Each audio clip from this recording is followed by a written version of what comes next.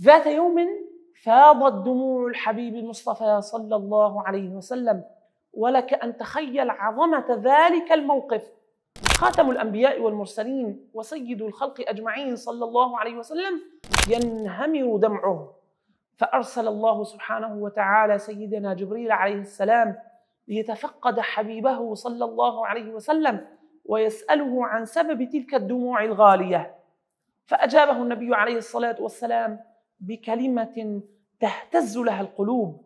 أبكي لأمتي أخاف عليهم النار.